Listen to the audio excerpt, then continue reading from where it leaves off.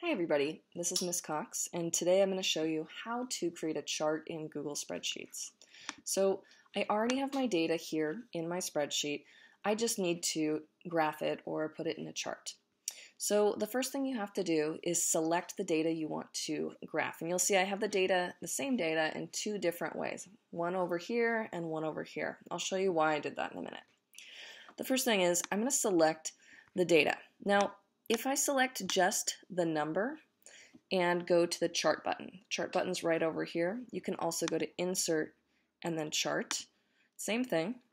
Well, you'll see if I go to a column chart here, the animals don't appear. And that's because when I went over here, I only chose the number. So it's important that you choose all the information you want to appear on the chart, so the categories and the numbers.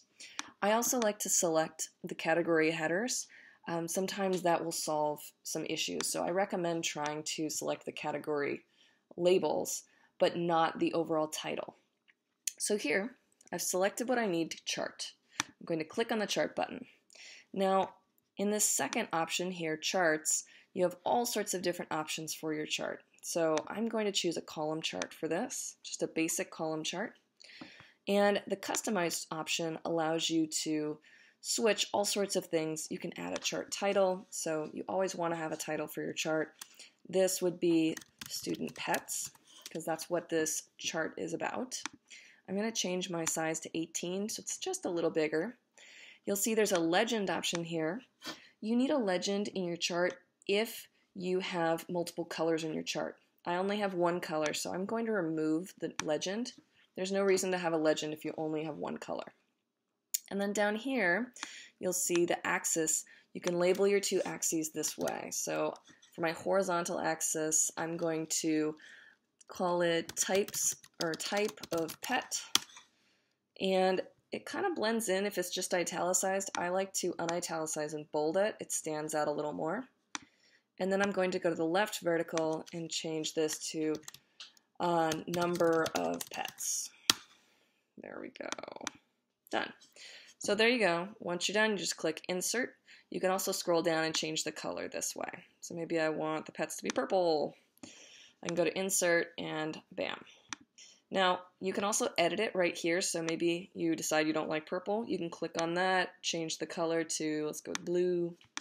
You can click on the title and edit the title this way. If you want to get back into the advanced editing options, you click up on the top and click on the drop down and go to advanced edit. To move this, you click and then look for the little hand icon and then you can drag it. Now, that's the first way to do it. Now, sometimes your data was going to be sideways like this. So I want to show you what happens sometimes if your data is sideways. So let's say I go to create a chart with this data. It's the same exact data. And I go to bar. Now, if you take a look, something weird happened. Down here now it says number.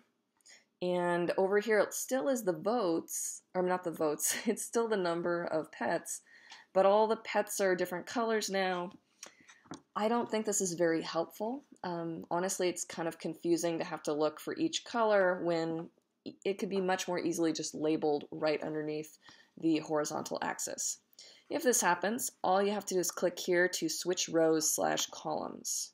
And bam, it'll switch it back to the way it should be. So this is the big trick. If you ever open up a chart and you're thinking, this isn't exactly what I want, click on the switch rows slash columns and usually it'll switch it so it is what you were originally thinking. And then this use column D as headers will add words to your legend if you have a legend or remove words from your legend. In this case, it doesn't really matter because I only have one color here. So at this point, I actually want to get rid of the legend. Okay, so last thing, here's one cool thing you may not be aware of. If you go to Insert, I'm going to zoom out a little bit so you can see this. If you insert your chart and you need to change your data, so for example, let's say I made a mistake and actually 10 people have birds and not one. If I change that information up here, where I pulled the information from for the chart, and hit enter, it'll automatically change it in the chart, which is pretty nice. So keep in mind, your chart is actually tied to the data you still have. So if you make any changes to that, it will change in your chart. The last tip I have for you is if you click here on the vertical axis, you can actually change the range. So for example, maybe I want this to end instead at 15 instead of hmm, instead of 16. I can do that. I can move it down to 14. You can change the minimum and maximum. I could even make the minimum negative. So you have some options there if you want to play with that. For this chart, it's not super important, but it is a nice feature. With that, those are really the basics of creating a chart in a Google spreadsheet. I hope this was helpful and helped uh, remind you how to do it. Thank you for watching.